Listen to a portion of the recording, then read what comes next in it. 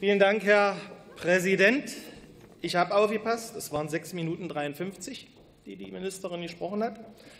Und ich möchte anmerken, wir als Bundesrepublik Deutschland oder als Sachsen-Anhalt, wir haben nicht die moralische Verpflichtung, mehrere Zehntausend Afghanen hier nach Deutschland und implizit weniger dann nach Sachsen-Anhalt zu holen. Wenn überhaupt, ist vor Ort zu helfen, und zwar mit den Nachbarländern. Den wenigen Ortskräften, die es dort gibt, dem wurde Schutz durch die Bundesrepublik Deutschland zugesagt. Das ist auch richtig, aber es ist eben auch nicht zwingend in Deutschland notwendig. Das geht auch vertraglich vereinbart, auch hervorragend in den Nachbarländern, die ja dieselbe Kultur haben und wo eine leichte Rückkehr möglich wäre, wenn die Heimat dann wieder befriedet ist aus diesen Nachbarländern.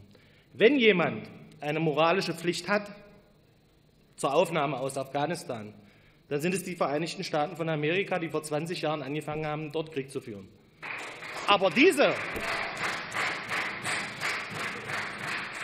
aber diese Nation macht die Flugzeuge voll, bringt sie nach Rammstein und wir können uns dann um die Menschen kümmern, die hier in Rammstein landen. Das finde ich auch etwas verwerflich als Zweckpartner eines Bündnisses, aber so ist es nun mal. Und ich muss ganz ehrlich sagen, die Menschen in Afghanistan, da gibt es zwei Umfragen, die etwas unterschiedlich sind, die wollen nicht diese Demokratie, wie wir sie haben. Die wollen die Scharia.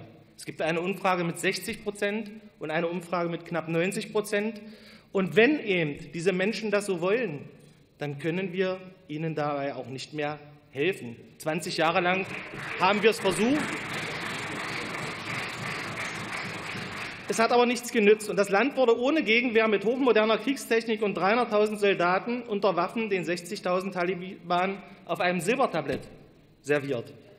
Und da sollte man sich schon fragen, warum das so ist. Und Freiheit wird aus Mut gemacht, aber eine mutlose, fünffach überlegene Armee, die den Islam mit einer Scharia der Demokratie vorzieht, verhält sich eben wie Freilandhühner, die freiwillig Käfighaltung wählen. Auch da können wir als Demokraten wenig in diesem Land Einfluss ausüben. Und wer halb Afghanistan hier nach Deutschland holen will, so wie Sie von den Linken, der hilft eben nicht Afghanistan, der macht aus Deutschland selbst Afghanistan. So hätte es, so hätte es Peter Scholl-Latour gesagt. Und ich möchte nur eins, ich möchte verhindern, dass wir solche Schlagzeilen in Zeitungen lesen müssen. Diese Kinderschänder und Vergewaltiger flogen ungehindert von Kabul nach Deutschland. Über 200 Menschen ohne Papiere zu uns gereist. Innenminister Seehofer warnt vor Kriminellen. Dieser Innenminister kann es nicht. Der hat nicht zu warnen, der hat dafür zu sorgen, dass diese 200 Leute hier gar nicht einreisen. Das ist die Aufgabe dieses Innenministers und keine andere. Und im Übrigen kann es diese Landesregierung eben auch nicht, weil sie hier im Prozentbereich einwandern lässt und im Promillebereich abschiebt. Das ist das nächste Problem, was wir hier haben. Und ich möchte nur noch mal auf das Thema Gewalttaten zurückkommen. Afghanistan spielt dabei eine sehr unrühmliche Rolle. Beim Thema Gruppenvergewaltigung, Körperverletzungsdelikte, Raub und Mord und Totschlagsdelikten sind Afghanen ganz fleißig mit dabei. Die ersten drei Länder, Syrien, Afghanistan und danach noch ein anderes Land als zweiter Stelle.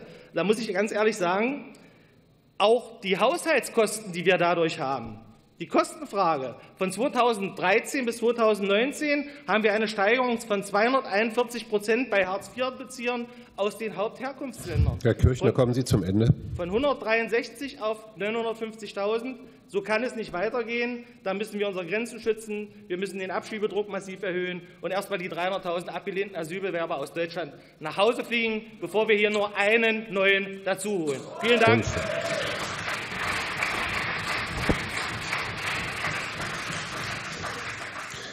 Ich sehe eine Intervention des Kollegen Krull. Herr Krull, Sie haben das Wort.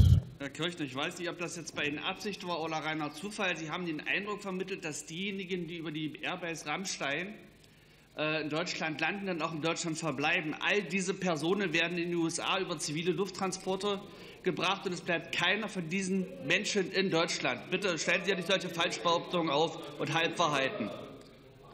Wenn Sie wollen, können Sie antworten, Herr Kirchner. Ich kann da gerne zu antworten. Ich habe es ja selbst in der Presse gelesen, dass einige von denen dort, die gelandet sind, schon hier Asylanträge stellen wollten oder stellen werden. So habe ich sie gelesen. Und äh, warum soll man der Staatspresse nicht trauen, Herr Krull? Ja, das ist doch die Frage. Herr Kirchner, eine Herr kleine Krull, stopp. Wenn Sie noch ein zweites Mal das Wort haben wollen, dann können Sie mich darum bitten. Danke. So, da Sie Ihre eine Minute am Anfang nicht ausgeschöpft haben, haben Sie jetzt noch zehn Sekunden. Bitte, Herr Krull. Herr Kirchner, eine Bitte. Wenn Sie immer wieder zitieren, ich habe irgendwas gelesen oder eine Quelle, wir wissen doch jetzt aus verschiedenen Thematiken, benennen Sie die Quelle konkret und nicht, ich habe es irgendwo gemacht und gelesen und irgendwie ähnliches. Sie haben keine konkrete Quelle benannt, weil Sie wahrscheinlich keine konkrete haben. Sie haben sich auf den Blog von irgendjemandem bezogen, der dort eigentlich nicht journalistisch tätig ist. Bleiben Sie bei der Realität. Sie können noch mal antworten. Ja, ich würde dann einfach empfehlen, nehmen Sie sich einen Referenten von Ihnen, recherchieren Sie es nach. Sie werden es dann sehen. Genau so war es. Und ich kann Ihnen nur eins sagen. Ich wünsche den Afghanen viel Glück dabei, wenn sie einen Weg in eine andere Welt suchen. Wenn sie ihr Land verlassen möchten, dann möchte ich Sie gerne auffordern, nach Kuwait, in den Oman, nach Katar oder in die Vereinigten Arabischen Emirate auszuwandern. Das sind reiche Länder ihrer Kultur. Ich sehe kein Zweckbündnis so weit hingehend, dass wir solche Leute hier aufnehmen müssen, 30, 40, 50.000, die dann noch mal fünfmal so viel hierher holen. Wir haben genug aufgenommen. Zwei Millionen Leute in den letzten Jahren sollte wir gereicht haben für dieses Land. Und darum bitte ich, und nur so kann man diese Sache auch lösen. Vielen Dank. Vielen Dank, Herr Präsident. Ich muss natürlich noch mal kurz auf Herrn Striegel äh, antworten, der mich ja hier als Kulturrassist bezeichnet hat. Es ist schon spannend, Herr Striegel, dass Sie als Volksrassist, der sich den Volkstod der Deutschen durch Zuwanderung gewünscht hat, mich als Kulturrassisten bezeichnet. Auch der Anti-Amerikanismus, den kann ich nur zurückweisen. Und das, was der Kollege Kröll vorhin gesagt hat, kann ich ihm kurz nachliefern. Afghanen aus US-Schutzprogrammen beantragen Asyl in Deutschland. Der Spiegel von vor einer Woche. 130 Leute aus dem US-Schutzprogramm für Ortskräfte und andere gefährdete Afghanen sind praktisch bei uns in Deutschland mit einem Asylantrag vorstellig geworden. Das ist genau das, Herr Striegel. Wenn man, äh, nee, Herr Kohl, wenn man eine Drei-Minuten-Debatte hat und ich hier alles mit Quellen hinterlegen muss, dann kann ich nur noch Quellen zitieren bei Ihnen. Das geht in drei Minuten nun mal nicht. Und dann können Sie sich darauf verlassen, was ich sage. Und übrigens sind wir genau deswegen, wegen solchen Zwischenfragen für ein besseres Bildungsprogramm. Vielen Dank.